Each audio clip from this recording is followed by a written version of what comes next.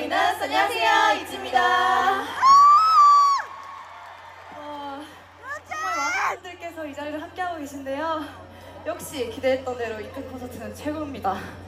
첫 곡부터 이렇게 열심히 응원해 주셔서 너무너무 감사드리고 일단 멤버들 각자 인사드리도록 하겠습니다.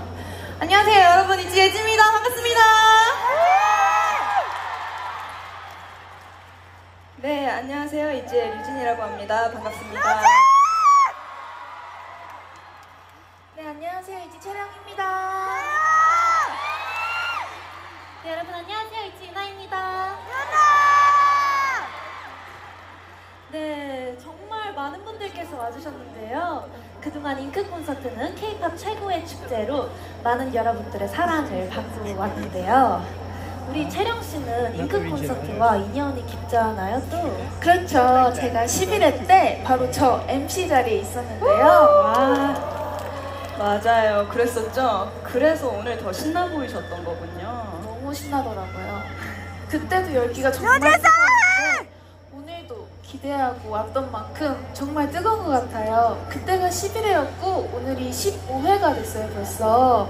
잉크 콘서트의 15주년을 진심으로 축하드립니다.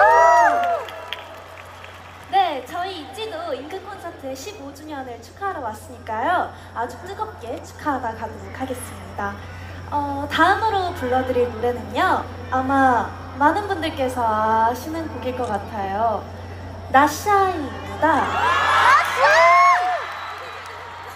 네, 저희가 빠밤빰 나샤이 나 잘 모르시면 이렇게 옆에 분들 보면서 같이 함께 있지를 외쳐주시면 진심으로 감사하겠습니다. 그럼 바로 들려드릴게요.